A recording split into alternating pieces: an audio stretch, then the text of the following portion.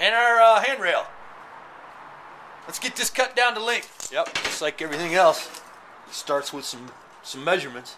Starts by cutting the metal.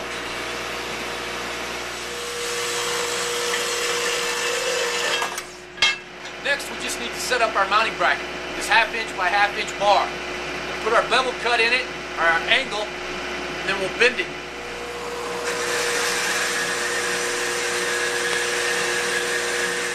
Just so we don't have to force it, I'm gonna go ahead and use some heat. We're gonna heat this up and put it in here and just put a 90 degree bend in it.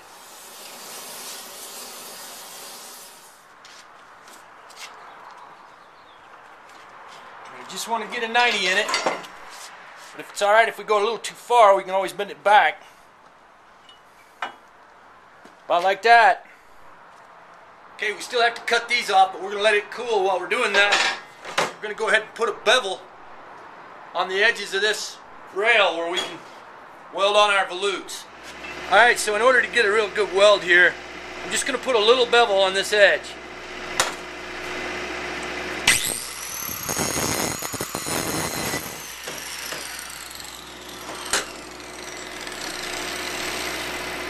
That just gives us a little more to weld to. We'll do the same thing right here.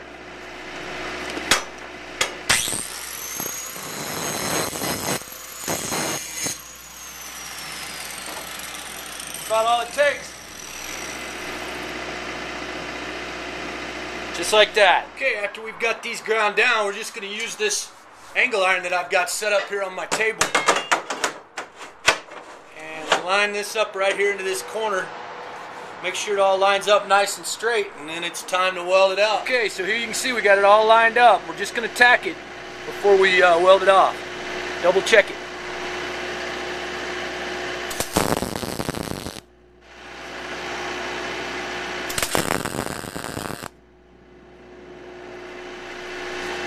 Just use a straight edge of some type. Not too bad. I think we can go with that.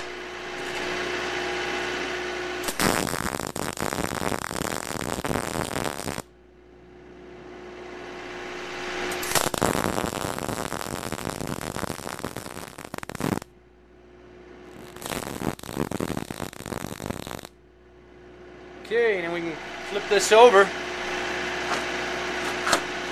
Fill in all this. Alright, flip it over and do the same thing to the other side.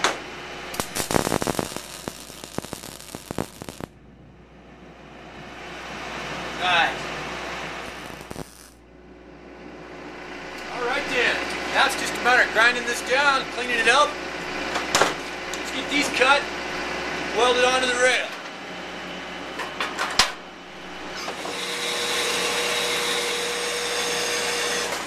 As I set these, I'm just going to trust my eyeball and line it up this way and this way.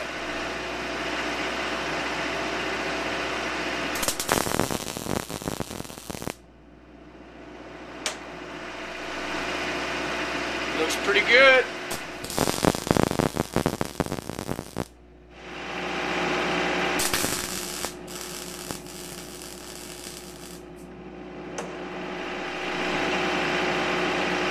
do it.